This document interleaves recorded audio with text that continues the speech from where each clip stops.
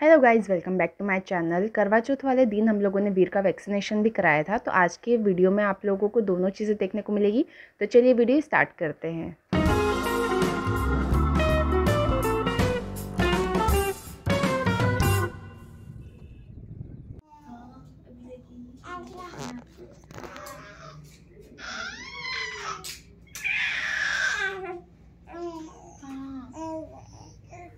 तो सबसे पहले मैं आप लोगों को ये बता दूँ कि मैंने निर्जला व्रत नहीं रखा था, क्योंकि अभी वीर बहुत छोटा है तो मैंने फ्रूट्स खाए थे और मैंने फ्रूट्स खाकर ही व्रत रखा।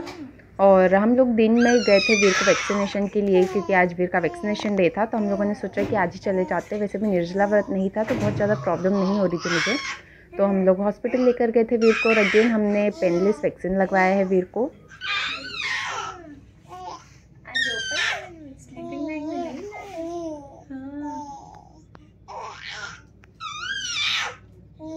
इसका गला खराब हो रहा। गला नहीं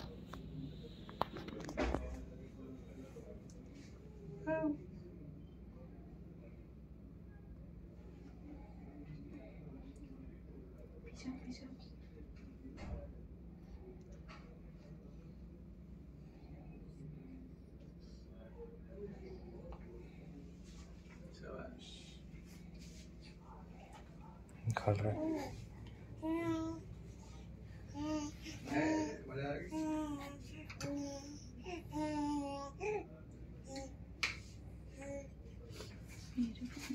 दे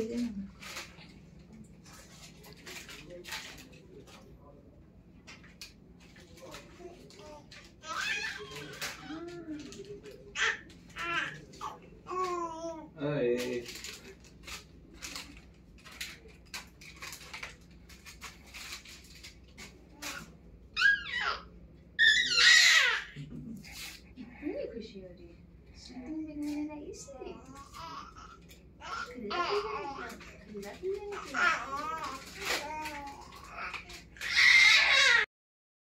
वैक्सीन लगने से पहले वीर बहुत अच्छे मूड में था बहुत अच्छे से खेल रहा था और आज पहली बार ऐसा हुआ कि हम लोग उसे घर से लेकर निकले बिना स्लीपिंग बैग के। वो थ्री एंड हाफ़ मंथ का है और अभी तक हम उसे स्लीपिंग बैग में ही कैरी करते थे जहाँ भी लेकर जाते थे लेकिन अब हमने अ, सोचा है कि अब हम उसे उसमें नहीं रख सकते क्योंकि जैसे उसे स्लीपिंग बैग में डालते हैं ना वो इतने हाथ पैर चलाता है कि वो उसकी चेन ओपन कर देता है स्लीपिंग बैग की। इसलिए अब हम आज पहली बार उसे बिना स्लीपिंग बैग के लेकर आए थे लेकिन फिर भी हो गया अच्छे से कैरी हम लोगों को लग रहा था बहुत ज़्यादा मस्ती करेगा लेकिन वो हाथ में भी सो गया था और जब वैक्सीन लगाने के लिए हम लोग अंदर लेकर गए थे ना, तभी वो उठा था और अच्छे मूड में भी था।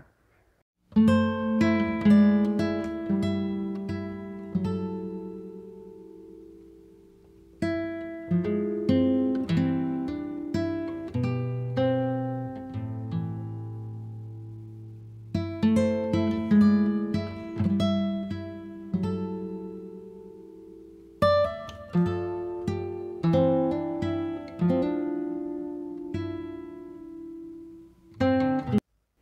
आज हमें मार्केट में सीज़न का फ़र्स्ट कस्टर्ड एप्पल मिला। हम लोग इसे सीताफल कहते हैं और मुझे बहुत पसंद है, इसलिए हम लोग लेकर आ गए थे।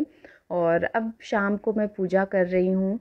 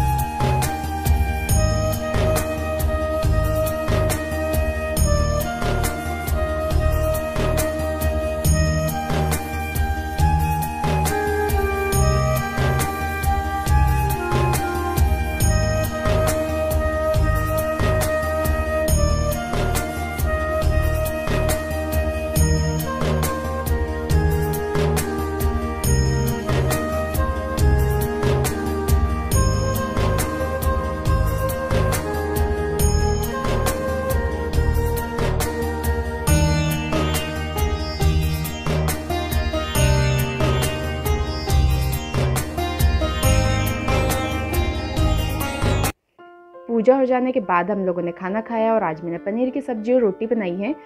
एक्चुअली करवा चौथ पर ऐसा होता है ना, रात को बहुत लेट हो जाता है चाँद देखने तक तो इतना लेट खाने की मुझे आदत नहीं है, इसलिए फिर बस मैंने इतना ही बनाया था।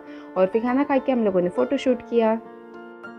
और आप लोगों को फ़ोटोज़ में देखकर पता चल रहा होगा कि वीर का मूड थोड़ा अच्छा नहीं है, क्योंकि उसका वैक्सीनेशन हुआ है ना। वैक्सीनेशन भले पेनलेस था, लेकिन उसका इफ़ेक्ट तो होता है तो वो उसके फेस पर दिख रहा है।